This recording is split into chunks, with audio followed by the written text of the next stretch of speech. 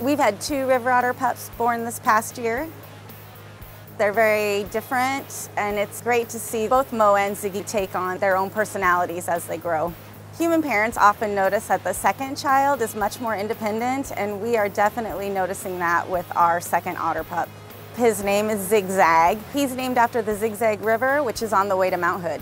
Otter pups are very dependent on their mother and they don't know how to swim right away. The mother actually has to teach them. Tilly is a great mom. She will start them in shallow water and then she'll slowly start swimming around the exhibit. Because they are so buoyant, it takes them a little bit to learn how to go underwater.